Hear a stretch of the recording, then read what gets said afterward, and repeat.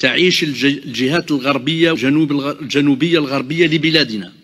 آثارا سلبية من ممارسات دولة الجوار المغرب المعرقلة والمدمرة للمياه السطحية العابرة للحدود. إلى كوارث بيئية أدت إلى وجه التحديد إلى تدهور نوعية مياه سد حمام بوغرارة بولاية تلمسان بسبب تلوث المياه الواردة إليه من الأراضي المغربية.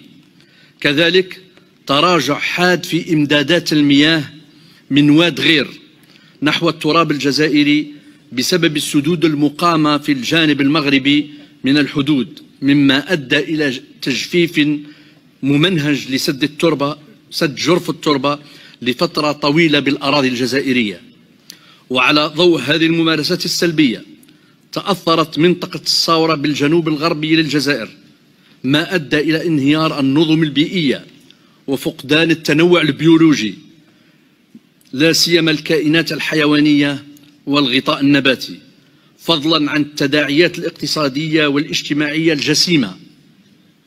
على سكان المناطق الحدودية الجزائرية المتضررة كما شملت هذه الأضرار بالإضافة إلى استفحال ظاهرة التصحر وانحصار الغطاء النباتي في الجانب الجزائري تضرر 43 43 صنفا من الطيور والحيوانات النادرة والتأثير على مسار الطيور المهاجرة.